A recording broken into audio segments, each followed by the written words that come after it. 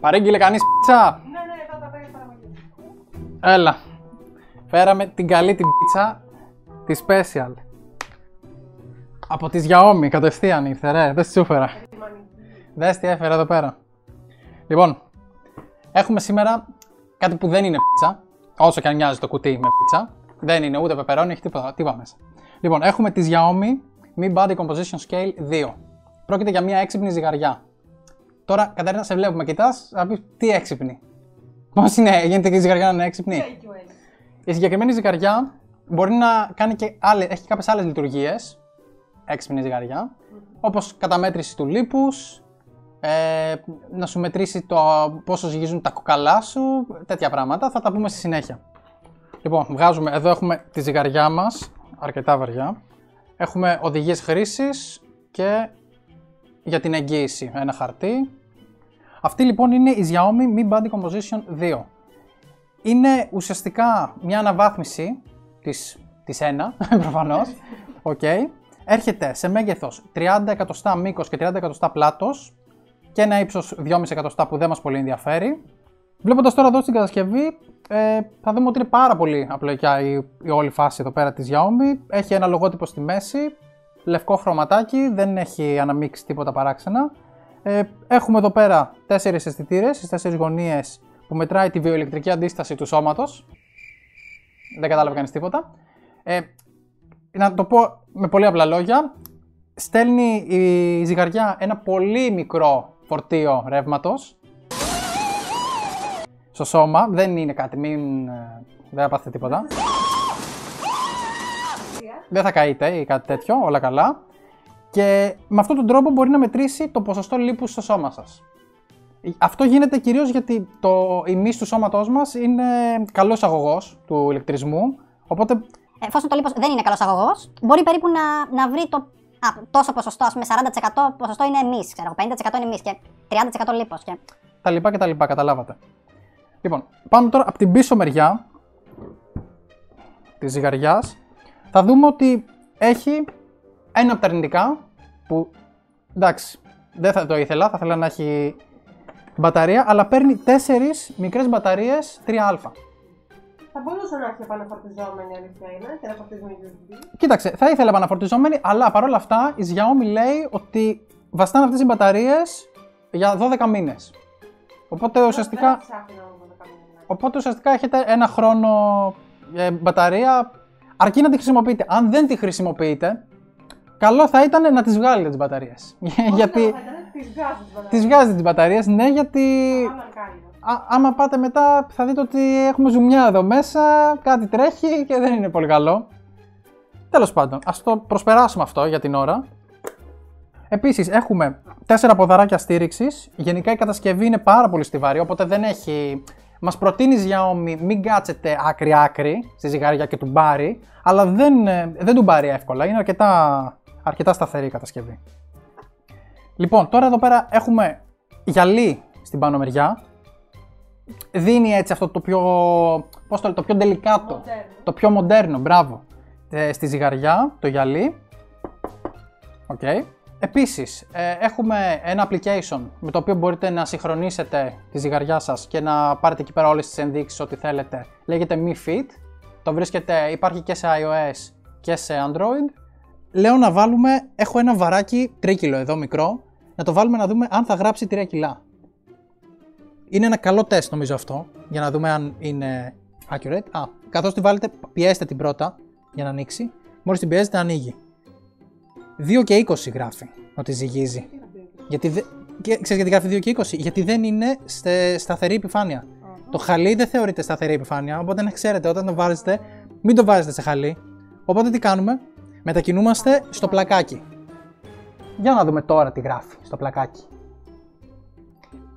Βλέπεις τώρα, ε, 3 και 10 για να καταλάβεις διαφορά. Το ένα με το άλλο. Να βλέ- βλέπετε να μαθαίνετε. Λοιπόν, βλέπεις ότι έχει μια απόκλιση ε, 100 γραμμάρια, ας πούμε; Ναι.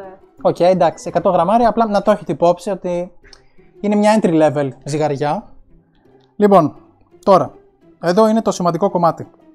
Θα ανέβω επάνω στη ζυγαριά. Λοιπόν, βλέπετε, κάνει καταμέτρηση της μάζας σώματος για να μας βγάλει τα αποτελέσματα. και έβγαλε 78 κιλά. Ωραία. Εξαιρετικό. Κατεβαίνουμε τώρα. Βλέπουμε τώρα εδώ πέρα στα αποτελέσματα που μας έχει βγάλει στο application. Λέει body score 59, 78 κιλά. Λοιπόν, εδώ κάτω είναι οι μετρήσεις που σας έλεγα. Το BMI είναι ε, Body Mass Index, σημαίνει. Πρέπει να είσαι, για μένα τώρα, το δικό μου προφίλ, 1,75 ύψος ας πούμε που έχω βάλει. Ε, μου λέει να είναι 25 και είμαι 25,4 οπότε είμαι λίγο πιο πάνω, αλλά εντάξει είμαι πολύ κοντά. Παρακάτω έχουμε, λέει το body fat πόσο είναι, 24,4% βλέπετε ότι είναι increased, πρέπει να χάσω λέει 2 κιλά fat, ok. Μέχρι στιγμής μέσα έχει πέσει, δεν, εντάξει δεν γυμνάζομαι και πάρα πολύ οπότε ok. Ε, τι άλλο έχουμε, έχουμε το νερό, 52%. Να ξέρετε ότι οι μετρήσεις που γίνονται εδώ γενικά είναι, δεν είναι πάντα τέλειες. Οπότε ό,τι, ό,τι δείτε εδώ πέρα σαν μέτρηση, να, εντάξει, μην το ακολουθάτε και 100% γιατί μιλάμε και για entry level ζυγαριά. Οπότε έχουμε το νερό 52%, πάντα είναι πολύ αυστηρό το νερό, οπότε μην περιμένετε για να πάρετε τώρα να λέει sufficient ε, το νερό, να, το, να πάει στο normal ας πούμε στο πράσινο, δύσκολο. Επίσης για το νερό να αναφέρω εδώ πέρα ότι είναι πολύ σημαντικό να μην κάνετε τη μέτρηση όταν ε, έχετε βγει από το μπάνιο ας πούμε ε, ή άμα την έχει τη ζυγαριά μες στο μπάνιο και έχει κάποιους υδρατμούς γιατί αυτό που κάνει για την καταμέτρηση τώρα του νερού μετράει να δει ε, πόσο υγρασία υπάρχει στο δέρμα επάνω στους αισθητήρες που ακουμπάς στα πόδια μετά, το basal metabolism, εντάξει, λέει 1671, ε, πρέπει να είναι 1684, πάρα πολύ κοντά και εδώ πέρα. Ε, για όσοι δεν ξέρετε, το basal metabolism είναι οι θερμίδες, οι χαμηλότερες θερμίδες που μπορείς να καίεις, δηλαδή άμα κοιμάσαι όλη μέρα ας πούμε. Και μετά έχουμε και το visceral fat που είναι το λίπος γύρω από τα όργανα ας πούμε. Πρέπει να είναι στο 9, λιγότερο από 9 μάλλον και εμένα λέει είναι στο 10. Οπότε κάνοντας κάποια γυμναστική, το πηγαίνει στο 9. Εντάξει, είναι κοντά. Ευτυχώς δεν έχω κάποιο θέμα. Δόξα τω Θεώ. Εδώ πάνω θα δείτε ότι έχουμε και άλλους χρήστες, καταμετρήσεις που μπορείς να κάνεις. Ε, παίρνει μέχρι 16 χρήστες. Οπότε είναι αρκετά χρήσιμο άμα είναι μεγάλη οικογένεια ή άμα θες να μετρήσεις διάφορα, διάφορα, διάφορα αντικείμενα, ας πούμε, δεν ξέρω για κάποιο λόγο. Τώρα θα με ρωτήσετε σε ποιον απευθύνεται αυτή η ζυγαριά; Αν θέλετε απλά να μετρήσετε το βάρος σας, Παιδιά, μην την πάρετε. Δεν υπάρχει λόγος, χωρίς πλάκα. Παίρνετε την ε, απλή τη Scale 2, που είναι σκέτο ζυγαριά και κοστίζει μισή τιμή από αυτήν. Δηλαδή στα 10 ευρώ, αυτή την παίρνετε γύρω στα 20. Και στα 10 ευρώ μετράς το βάρος σου, κανονικά δεν χρειάζεσαι κάτι έξτρα. Τώρα, αν θέλετε το κάτι παραπάνω, με μια επιφύλαξη ότι δεν είναι η καταμέτρηση που κάνει, μπορεί να... θα υπάρχει μια απόκληση σίγουρα, δεν είναι τέλεια, άμα θέλετε κάτι τέτοιο, νομίζω ότι η συγκεκριμένη δεν είναι τυχαίο ότι έχει 1300, 1300, 1350 κριτικές στο Scrooge. Σκέψου.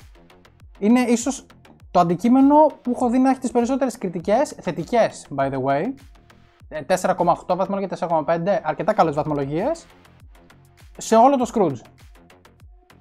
Οπότε έχετε το νου ότι σαν value for money θα την πρότεινα με κλειστά μάτια, άμα θέλετε να μετρήσετε κάτι παραπάνω από το βάρος σας. Αλλά αν όχι, δεν θα την πρότεινα.